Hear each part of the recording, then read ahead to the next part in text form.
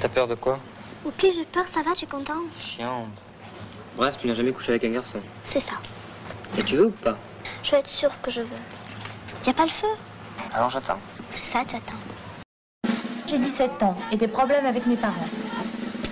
Ça, tu l'as cherché, hein? En 62, j'ai 22 ans et des problèmes avec mes enfants. Et tu peux pas travailler, toi? Avec ces deux-là, quoi faire? J'ai rien appris. Dans la musique, ça sert à rien, le bac. Garde le bac. You can do it. You can do it. You can. You can. Sometimes the kids is outside, running around, nobody watching them. Wanda Goronsky. Listen, Judge, if he wants a divorce, just give it to him. Bonjour à tous, on se retrouve aujourd'hui avec euh, moi Natacha, Tiffen. Bonjour. Et Mia. Salut. On va vous parler de Wanda et de L'une chante l'autre pas. Et euh, du coup, je vous rappelle que la semaine prochaine, on aura la chance d'avoir deux séances. Donc euh, le lundi 11, on va se retrouver euh, pour la séance euh, en lien avec le master MAE. Du coup, on verra à 18h15 Gâche en brume, voilà, de Herzog. Et à 20h15, on aura la chance de voir Stalker de Tarkovsky. Voilà. 20h15 au lieu de 20h45 Ouais, du coup, ouais, vu que Gachard Brume est plutôt court et que Stalker est vachement long. Ouais. Donc c'est Voilà. adapté. Voilà. Et euh, mercredi, du coup, on se retrouvera pour la séance euh, Je ne suis pas un héros, avec à 18h15 Oediproie et euh, à 20h45 les funérailles de Rose. Voilà. Youpi Du coup, euh, pour repartir sur Wanda, c'est euh, l'histoire de Wanda. Du coup, on est dans les années 70 en Pennsylvanie, dans une ville minière. Et Wanda est mariée à un mineur qui demande le divorce, donc elle l'accepte et abandonne ses deux enfants. Voilà, elle accepte et elle quitte tout. Elle va faire la rencontre de Norman Dennis et elle va le suivre sur tout le long du film, lui qui est un malfrat.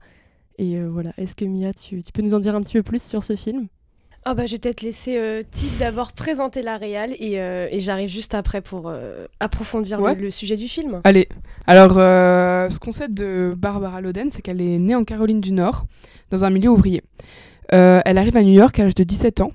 Elle pose pour des romans photos, elle danse dans un club, elle joue à Broadway, elle fait plein de trucs, elle participe à des spectacles télévisuels. Et euh, finalement, elle se marie avec un producteur et distributeur de films euh, qui est Jari euh, Joachim, avec qui elle a un premier enfant. Elle aura un, second enfant avec le, le cinéaste Elia Kazan, qu'elle épouse en 68. Mais assez vite, le couple se délite. Et le réalisateur de À l'Est d'Éden, par exemple, en 1955, euh, lui a donné son premier rôle au cinéma dans Le Fleuve Sauvage. Et ensuite, elle a un autre rôle plus ample dans La Fièvre. Euh, la Fièvre dans le sang, plutôt, en 1961. Euh, puis bah, tu peux compléter, euh, Mia, je pense. Ouais, bien sûr. Donc avec Vanda, donc c'est le premier long métrage de Barbara Loden en tant que réalisatrice. Elle est donc aussi actrice pour du coup interpréter Vanda. Les raisons qui l'ont poussée à faire ce film sont assez intéressantes. C'est tout d'abord une envie un peu de d'émancipation première, parce qu'en effet, donc elle était avec Kazan, comme tu l'as dit, et il devait adapter l'arrangement au cinéma et avec en rôle principaux, il devait avoir euh, Marlon Brando et Barbara Loden. Et euh, en- on va dire au dernier moment, les deux acteurs sont remplacés. Donc euh, Brando, il est remplacé par Kirk, euh, par Kirk Douglas, pardon, Mhm. et Loden va être remplacé par Faye Dunaway. Et en fait, euh, Barbara Loden, elle va être très très déçue de, bah, de ce choix euh, d'acteur. Et en fait, c'est ça qui va lui donner envie euh, de faire Vanda, notamment pour confirmer un peu sa, sa propre existence, c'est ce qu'elle dira elle. Donc c'est pour ça que Vanda est totalement créée du scénario jusqu'au tournage. Et Barbara Loden a absolument tout fait, le scénario, etc. Et elle va ajouter beaucoup de détails personnels à ce rôle-là qu'elle va mêler avec un fait divers qui s'est passé dans les années 60. C'est l'histoire en fait d'Alma Malone qui va suivre l'homme auquel elle est attachée dans un braquage, mais euh, sans le savoir. Euh, et en fait, elle va être obligée de devenir euh, la complice de cet homme, vraiment parce qu'elle est vraiment sous l'emprise de l'homme du coup. Et donc en fait, durant ce, ce braquage, Alma doit apprendre par cœur la liste des actions visant à kidnapper le directeur de la banque.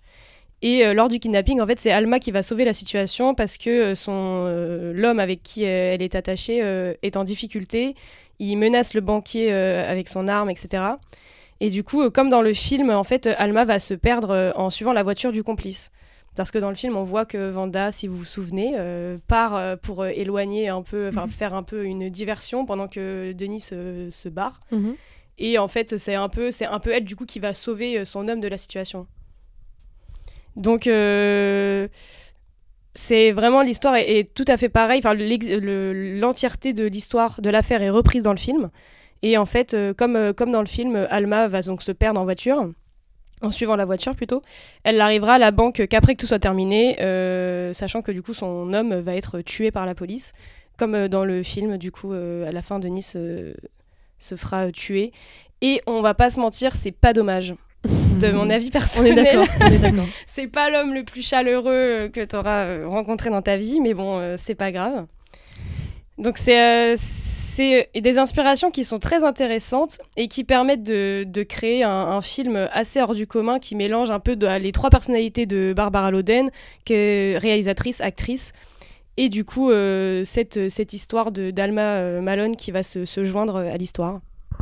Parce que euh, Barbara Loden disait, dans une, euh, dans une interview au, Positif, euh, dans Positif avec Michel Simon en 75, euh, c'est une des rares interviews d'ailleurs qu'elle a accordées, elle dit « Personne d'autre que moi ne pouvait jouer ce rôle. J'ai eu la chance de partir, mais pendant des années j'ai été comme Wanda, une morte vivante, jusqu'à 30 ans environ.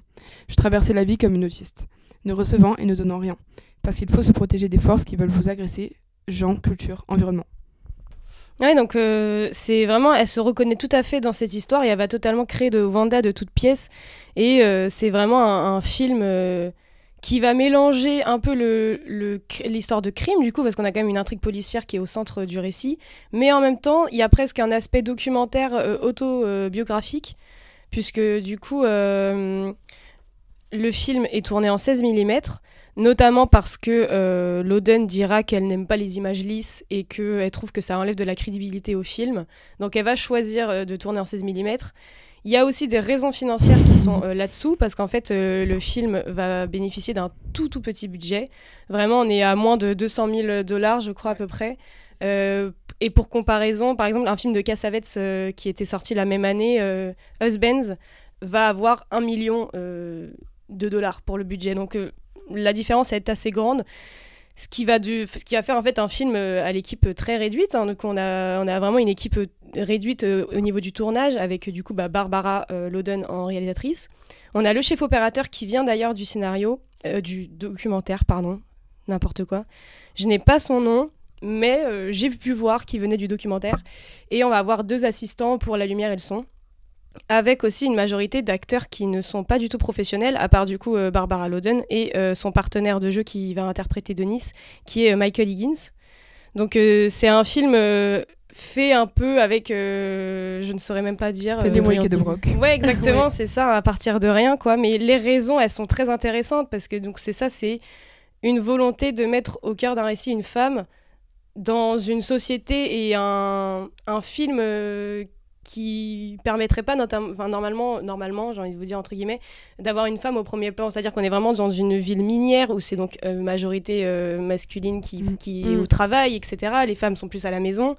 Et en fait, dès le début, on s'aperçoit que Vanda, elle est totalement passive par rapport à cette vie-là, Ouais. qu'elle se laisse faire de tout. Enfin, dès le début du film, en fait, on la retrouve euh, chez sa sœur. Donc euh, déjà, dès le début, elle a quitté le nid euh, familial. Toute cette, cette cellule familiale va exploser par la suite. Et elle va, être, elle va accepter vraiment de... Elle va, elle va vraiment dire oui au juge et puis se déambuler comme ça, sans, sans but dans la vie. Et euh, c'est ce qui marque aussi une certaine violence dans le film quand même, du coup puisque euh, on a, euh, comme on l'a pu voir, on a des scènes assez violentes dans le film, euh, violence euh, morale et physique à- sur Vanda.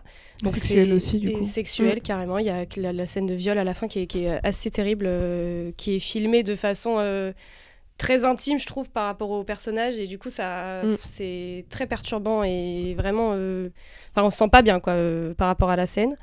Mais euh, ça montre du coup que c'est l'intrigue policière, c'est ça, va vraiment être mise du coup au second plan pour laisser Vanda être là, même si on la voit que dans des moments où elle est en doute, elle est seule, elle est en train de déambuler encore. C'est quand même elle qui est au centre du récit. Et donc c'est c'est vraiment intéressant parce que euh, c'est ce que disait euh, Vanda par rapport à son film. Elle voulait vraiment euh, créer une, une vie de femme, dessiner une vie de femme, pas mise en scène ou regardée par un autre, et encore moins accordée à celle d'un homme. Donc il y a certaines scènes qui peuvent faire penser le contraire parce qu'on a l'impression que des fois Vanda elle est elle est heureuse de, de, de servir, euh, c'est entre guillemets aussi euh, euh, Higgins, Denis dans le film. Et donc, certaines scènes, on, on a l'impression qu'en en fait, elle est passive, mais en même temps, elle est dans cette relation. Elle veut que cette relation avance. Elle est un peu à, à, à ses crochets, quoi, à tous ses besoins. Elle répond à tous ses besoins. Mais c'est ça aussi qui marque vraiment l'ascendant de l'homme sur elle et euh, la relation qui est, qui est horrible et qui est complètement dominée dans, dans, dans, dans- dans ce film. Que l'homme, euh, vraiment, enfin, euh, a Vanda avec elle, mais vraiment par nécessité parce que ça l'arrange d'avoir une complice. Et comme on le voit dans la scène du braquage, euh, c'est grâce à Vanda qu'il va s'en sortir, même s'il s'en sort pas du coup. Mais qu'à la base, son plan, c'est de s'en sortir et de laisser Vanda faire le, le sale boulot à sa place, quoi. Donc euh, c'est euh, c'est un film assez terrible, mais qui met, au, qui met une femme euh, un peu... euh, un peu lambda, j'ai envie de dire. C'est c'est pas très joli la façon dont je le dis, mais euh, elle est. Si, ouais, enfin, tu vois ce que je veux dire. euh. Je sais pas comment enchaîner. Elle, est, elle est au centre du récit, mais c'est c'est- c'est quelqu'un comme tout le monde. Ouais, c'est encore moins mieux dit, mais c'est ok. Bah, c'est un peu comme euh, dans, dans ni loi ou dans L'une chose l'autre pas. Ce sera notre prochain film, mais euh, c'est des, des femmes lambda qui sont au centre du récit. Euh, et euh, bah, je sais pas. Je trouve que ce qui est fort avec Ronda, c'est que en fait, on sait pas trop si à la fois. Enfin, je trouve que dans sa quête et dans son errance, il y a un côté émancipateur parce que bah, du coup, elle refuse d'être juste femme au foyer, ce qui est un rôle qui, qui a pas l'air du tout de lui convenir. Mais en même temps, elle a pas l'air heureuse dans sa quête non plus, quoi. Enfin, à la fin, je crois, elle est juste dans un bar. On sait pas si c'est mieux pour elle ou pas. Enfin, elle a l'air d'être toujours dans ce truc passif qui est assez euh, douloureux, je trouve. Ouais, c'est c'est assez très très dur à voir. Moi, je trouve euh, le, le film euh, est très violent quand même. Et puis même par c'est par son grain aussi, je pense que ça Ouais. accentue ça. C'est qu'on a, c'est comme je disais, c'est que c'est un, un, un espèce de mélange entre du coup euh, le crime, enfin le film de crime, le film policier. Et en fait, un reportage, euh, le reportage filmé, parce que du coup, en 16 mm, donc il y a du grain sur l'image, c'est que de la lumière naturelle qui est utilisée, et euh, la caméra est portée aussi durant, tout le film. Donc on a vraiment, je ne sais plus combien de temps il dure, mais 1h40, euh, 1h50 peut-être, euh, de reportage presque, mais qui est pourtant un personnage complètement euh, créé, quoi. Enfin, tout est, tout est, et c'est de la fiction quand même. Donc c'est vraiment très très intéressant. oui. Ça, c'est important de le rappeler, je trouve, parce qu'en le regardant, on peut se dire que c'est juste un documentaire. Enfin, je trouve qu'on a vraiment la sensation d'être avec elle, de l'accompagner. Tu parlais de road trip euh, tout à l'heure, euh, Tiff, et c'est vrai qu'on a vraiment cette sensation-là de, de voyage et on sait pas trop où est-ce qu'on va aller, quoi. Bah, comme quoi notre thématique est bien trouvée, euh, les vagabondes, tout simplement.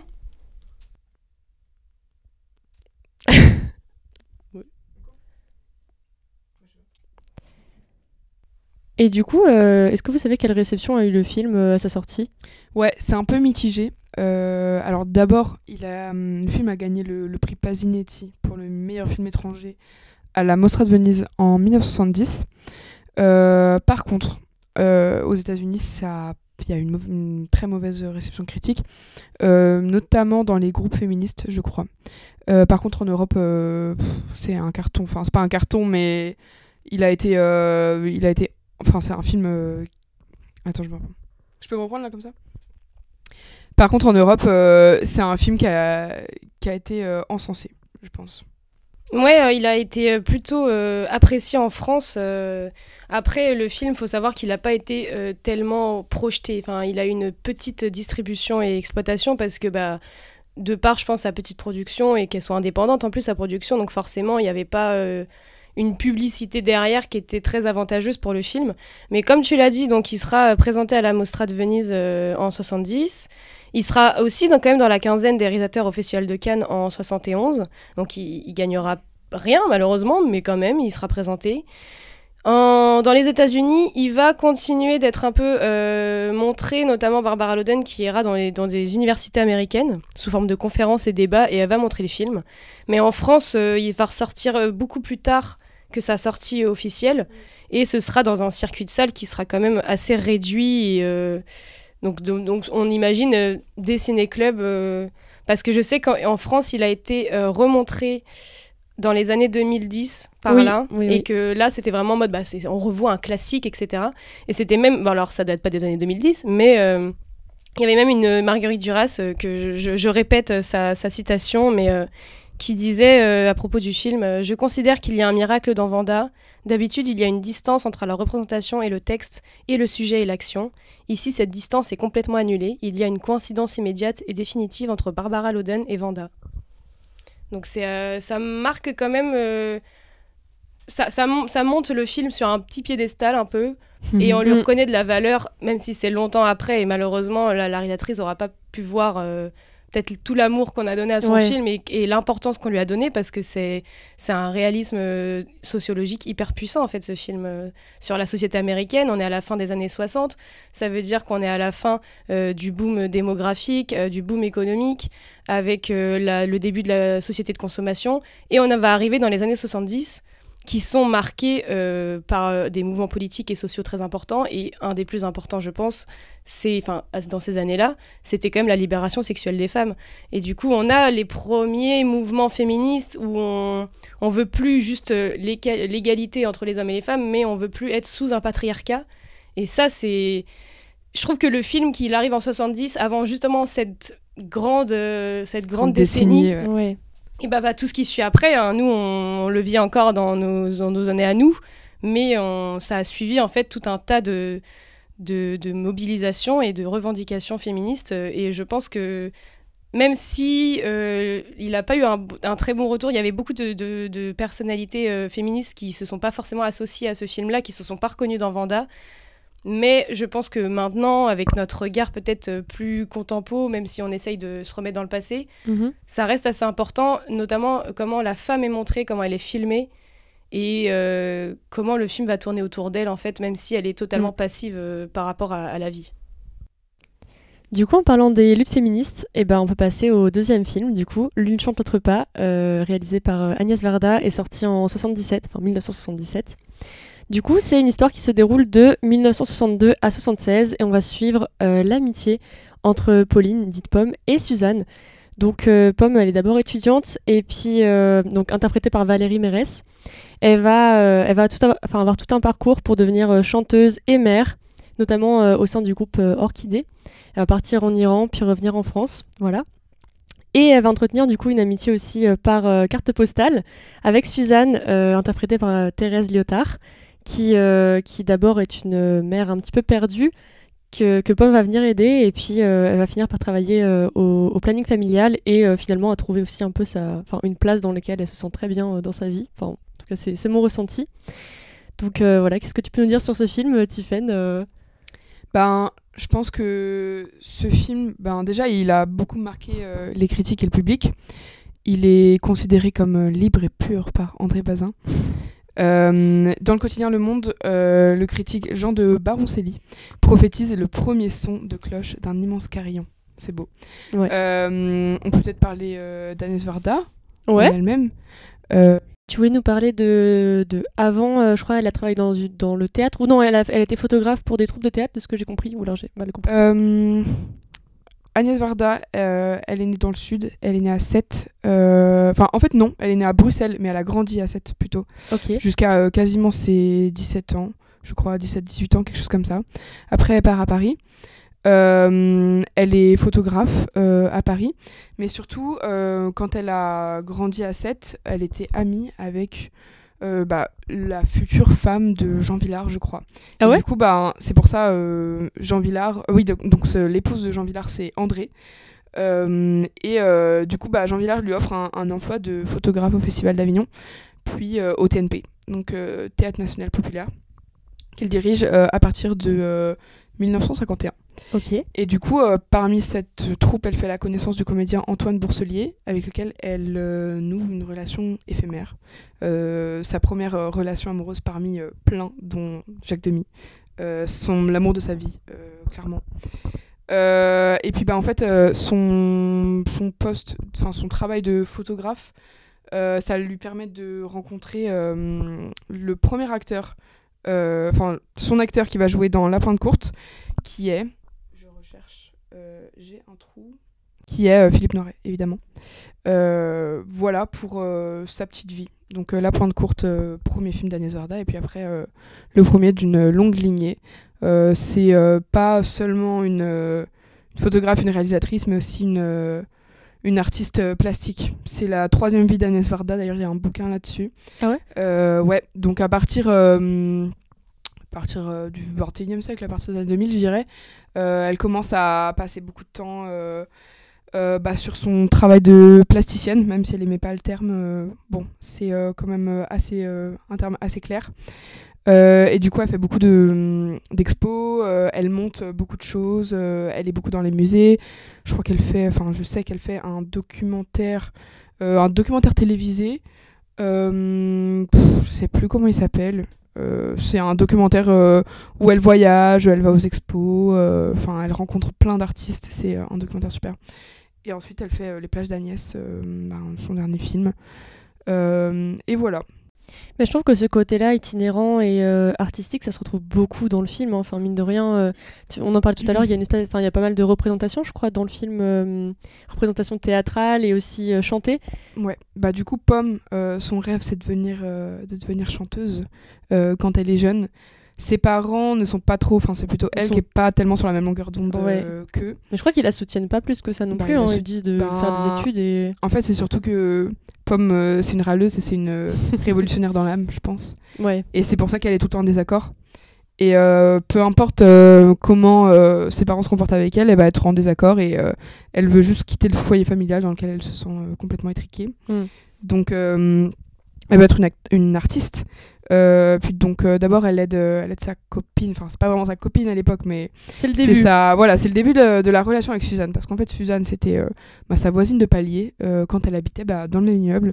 Suzanne a déménagé et puis du coup Pomme elle, elle retombe par hasard sur, bah, elle tombe sur un photographe dans la rue. Euh, elle entre dans le studio, elle regarde les photos. D'ailleurs, euh, le film commence par ça. Mm. Et puis, en fait, euh, bah, ce gars, le photographe, c'est. Jérôme. Alors, est-ce que c'est le mari ou est-ce que c'est le copain? Ah, de- j'avoue, j'ai un doute. Je sais pas Je si c'est ses enfants ou pas, mais Bah, en, ah ouais, je sais plus, j'avoue. C'est vrai qu'il y a un- une espèce de zone grise autour de, de cette. en fait, pour moi, euh, il est très flottant. Du coup, j'ai du mal à me rendre Ouais. compte, mais Mais en tout cas, ben, elle a une relation avec Jérôme. ouais. Euh, ils ont deux enfants. Euh, donc voilà, c'était son, son, an- son ancienne euh, voisine de palier. Et puis, euh, eh ben, ça va devenir sa, son amie parce que euh, elle va l'aider dans, dans sa galère, sa galère que- euh, de l'avortement. Ouais. Et euh, là, Suzanne, pour moi, on peut un peu la comparer à Wanda, je trouve, dans le côté. euh, elle se laisse porter parce que, enfin, je trouve qu'elle a, elle a pas grand, pas grand monde qui vient pour l'aider, quoi. Mine Elle de a rien rien. pour elle. Voilà, c'est ça. Enfin, elle a rien pour elle, c'est horrible, mais elle a, elle a pas fait d'études en fait. Enfin, ouais. Voilà, et euh, bah pareil, euh, je crois que c'est le père de, enfin c'est le père de Pomme qui dit euh, pour les filles qui ne font pas d'études, c'est le mariage et la prostitution. Et après Po- Super. Pomme elle répond, je crois qu'elle répond, est-ce que c'est pas pareil, le mariage et la prostitution? Ah oui, oui, c'est vrai. Le début du film qui commence quand même assez Incroyable. fort. Mais du coup, bah oui, on peut faire un lien entre Suzanne et, et, et- Wanda. Mais après, on peut aussi faire un lien entre Wanda et, et Pomme, quoi. Oui, Parce que Pomme aussi, en soi, elle se laisse porter. Elle est, bah ouais, c'est l'itinérance, c'est le road trip. C'est un peu le road trip aussi dans, dans Saint-Ouen Ilois, avec Sandrine Bonheur. Euh, Mais Pomme, elle a ce truc de, de vraiment lutter, dont tu parlais tout à l'heure, un peu un souffle révolutionnaire, et ça passe ouais, par la question de l'avortement, où elle soutient dès le début les femmes qui, qui souhaitent euh, bah, que, que chacune puisse euh, passer par un avortement s'il y a Ouais. besoin. Quoi. Enfin, et et c'est un truc qu'on retrouve pas mal dans le film, en tout cas au début, et qui rejoint aussi la vie d'Agnès Varda, parce qu'elle elle a signé euh, le manifeste des 343. ouais, ouais, carrément. Euh, bah, le manifeste des 343, euh, grande, euh, grand moment dans l'histoire féministe. Euh, Rédigé par Simone de Beauvoir, je crois. Oui, signé par Agnès Varda, oui, du coup. Et euh, d'ailleurs, euh, Gisèle Amini, qui a aussi, euh, qui a aussi euh, signé le manifeste des 343, euh, elle, a, elle a fait une apparition dans le film. Ouais, elle est l'avocate. euh, ben, du coup, tu sais, quand euh, elle se retrouve la première fois, euh, Suzanne et, et, euh, et Pomme sont dans une manif. Et du coup, bah, c'est pour, c'est pour. Alors, du coup, c'est une histoire vraie, je crois. Mais euh, je me souviens plus trop. Histoire vraie, ou dans tous les cas, ça ressemble à une histoire C'est vraie, une quoi. histoire vraie où c'est une femme qui doit se faire avorter, enfin qui s'est fait avorter, elle n'avait pas le droit de se faire avorter, blablabla. Du coup, Gisèle Amini, elle était l'avocate de cette jeune femme. Ok. Et, et donc, elle apparaît dans le film, vraiment. Donc, euh, le manifeste des 343, c'est une euh, pétition euh, qui, est, qui a apparu dans, dans le Nouvel euh, en, en 71. 71, Euh, et ça, ça appelle à bah, la législation de l'avortement en France, vu que ce n'était pas dû à l'époque. Et euh, du coup, bah, c'est 343 euh, Françaises qui ont eu le courage de signer le manifeste qui dit euh, Je me suis fait avorter. Voilà. Sachant que dans la vraie vie, Agnès Varda, elle accueillait dans sa petite maison rue Daguerre ben, des faiseuses d'anges. Elle accueillait des femmes qui, qui ben, devaient se faire avorter. C'était une nécessité. Et donc voilà, ça la touche. Enfin, c'est des sujets évidemment qui sont très personnels à, à, à Varda. Mm. Vu que le, le film euh, recoupe plein de problématiques euh, qui, bah ouais, qui, qui la touchent euh, ben, depuis le début de son cinéma, depuis le début de son art. Ah bah, Varda est assez connue pour son, son engagement, donc là elle, elle pose vraiment un, un regard très féminin et elle va, elle va détourner un peu du coup le, le, male, le male gaze, hein, parce qu'on est, on est, on est dans cette même, euh, même, ce même temps où du coup Laura Mulvey va développer... euh, parce que c'est en 75, il me semble, que du coup euh, Mulvey écrit son, son ouvrage et l'article justement. Pleasure and... C'est quoi narrative C'est euh, euh, plaisir visuel, non. eh ben, oui, c'est ça, plaisir, Plaisir visuel et cinéma narratif, carrément. Donc là, euh, on développe vraiment le male gaze. Donc pour ceux qui ne savent pas ce que c'est, le male gaze, c'est le fait de représenter la femme mise en scène pour et par le, le regard des hommes. Donc c'est fait Mm. par un regard d'homme et c'est pour le regard des hommes. Donc c'est euh, c'est une femme qui est totalement objectifiée et à travers euh, L'une chante, l'autre pas, Varda va totalement euh, répondre à ce male gaze et poser un regard euh, très très féminin, très joyeux aussi sur, sur l'amitié qui va du coup traverser le temps. C'est ça dans le film. hein, Mm. on, va, on va avoir plusieurs années de, de lutte féministe où on va prôner l'action un peu avant la revendication, mais c'est vraiment l'action qui va prôner. hein, et on, on est derrière ces, ces deux copines euh, qui, euh, qui, qui nous offrent un, un récit assez optimiste quand même euh, Mm. sur ces luttes. Bah, c'est ça que j'aime bien dans ce film, c'est que c'est. Euh, je, crois que j'avais lu une citation de Varda qui disait qu'elle avait essayé de le faire euh, le plus optimiste possible, ce film, et le plus joyeux. Enfin, on ressent beaucoup de, joie, je trouve, à travers ce film, mais aussi il y a une grosse colère par rapport à tout, le contexte en fait euh, qui demande à ce que, enfin, aux, aux besoins de ces luttes finalement. Et je trouve qu'il y a, ouais, c'est une belle transformation en quelque chose de vraiment positif. Enfin, on ressent vraiment le groupe entre ces femmes qui se forment et où c'est vraiment de l'entraide euh, tout le long. En C'est de la sororité. Ouais, il y a une Ouais, voilà, sororité de carrément. fou. Et en fait, ça prône ça, ça prône la sororité. Et justement, on n'est pas dans une, une action euh, qui est violente, qui est dans rentre dedans et, Mm. et on va tout casser, et nanana. Mais c'est lutter. On est en colère évidemment parce que bah on a beaucoup de raisons de l'être quand même. Mm. Mais c'est de faire cette action-là euh, quelque chose de, de, de- valoriser là juste la liberté et, euh, et que chacun vive heureux et bien avec son corps, avec lui-même, avec les autres et, euh, et Mm. pas d'être dans une une forme de ouais de, de violence et de combat. euh, Je, je, je trouve pas mon mot, mais euh, Bah, vous voyez ce combat que je veux violent, dire. ouais. Ouais, de Ouais. un combat violent, de rentrer dedans, quoi. Bah ouais, bah du coup, euh, un combat joyeux. Parce que Agnès Varda, elle disait euh, le film raconte ce combat dans la bonne humeur et dans l'utopie. Voilà. Ça Donc, euh, rejoint. c'est un film, un film de musique en fait. Mais Donc, oui, euh, Bah, c'est bien parce qu'on sort, euh, on sort un peu de notre séance euh, Jacques Demy, euh, Les Demoiselles de Rochefort. Bon, c'est la, c'est la comédie musicale d'Agnès Varda quoi. On arrive dans un monde très poétique, quoi. Donc euh, ça, ça nous fait rêver. Je pense qu'il y a une espèce, une certaine nostalgie aussi parce que ce qui est un peu, ce qui est terrible euh, dans un sens, mais qui est beau quand même, c'est que le film peut encore résonner aujourd'hui en fait, Mm. par rapport aux luttes qui sont encore d'actualité. Donc Ben c'est un peu triste parce que bah on a un peu un sentiment que ça n'avance pas, alors que si quand même, si on pose un regard euh, en arrière, euh, on a quand même Mm. avancé.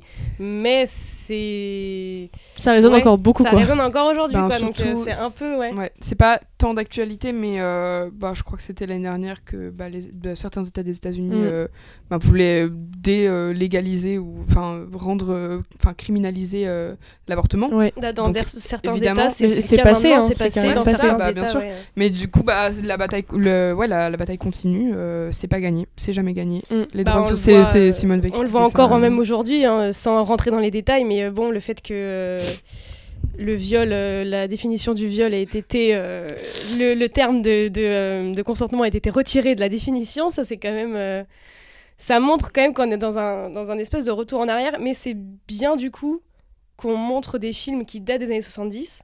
Parce que ça veut dire que les gars, on est là depuis 70 en fait, et on va pas arrêter d'être là, tu vois.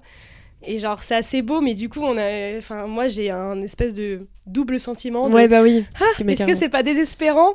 Et en même temps, non, parce que ça reste toujours beau de se battre pour ça. Et de Mm. voir qu'on n'est jamais seul, en fait. On est, on est tout ensemble là-dedans, et, et tous, euh, quand même.